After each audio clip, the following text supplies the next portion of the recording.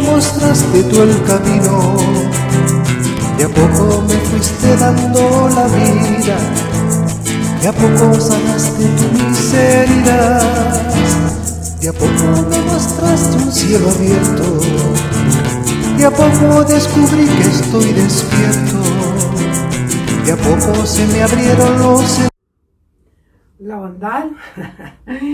Hemos sido más bondadosos, sí, pues cuesta, cuesta, porque estamos acostumbrados a, mandar y que se preocupen los demás de nosotros y no nosotros de los demás.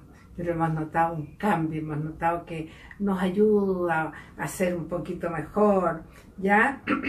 Y las exigencias de la nueva vida ya la tenemos clarita y que le damos gracias por esta oportunidad de poder ser cada día mejor. Y veamos hoy día, vamos ya adelantándonos a Efesios 5, 1, 2, y dice,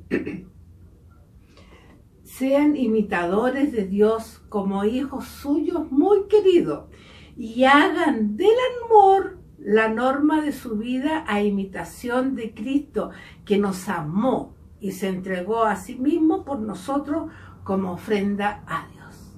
Palabra de Dios. Sean pues imitadores de Cristo.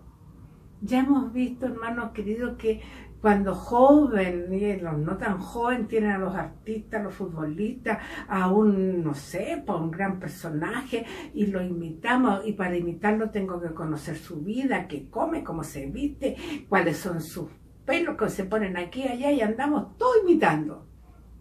Bueno, ¿por qué nosotros no somos capaces también de imitar a Cristo? En su amor, aquí dice, y hagan del amor, del amor con mayúsculas, no del amorío, ¿ya? La norma de su vida, imitando a Cristo. Aquí tenemos su palabra, ahí tenemos su vida, lo que nos dice, lo que nos enseña, y no solo habla, sino que actúa. ¿Para qué? Para darnos el ejemplo, para eso vino se hizo hombre como tú, como yo. ¿Para qué? Para que pudiéramos entenderlo, que Él nos entiende, Él pasó por todo lo que pasamos nosotros y, sufrió, creo que mucho más de lo que tú y yo podamos hacer.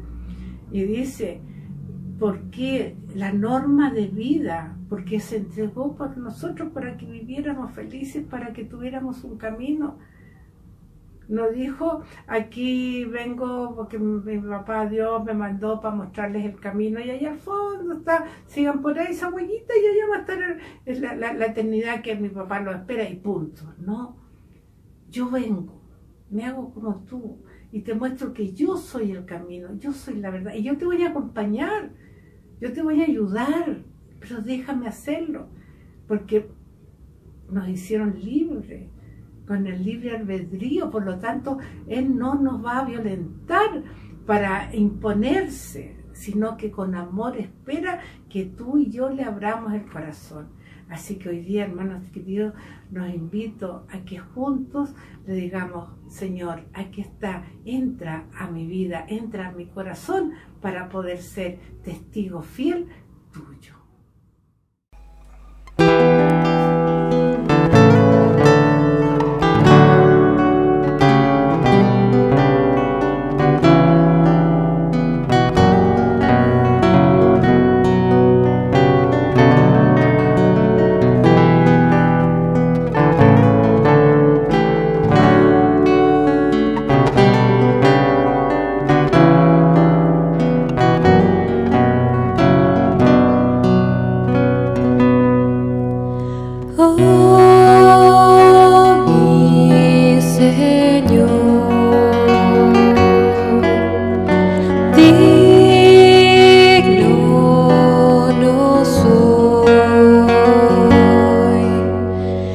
there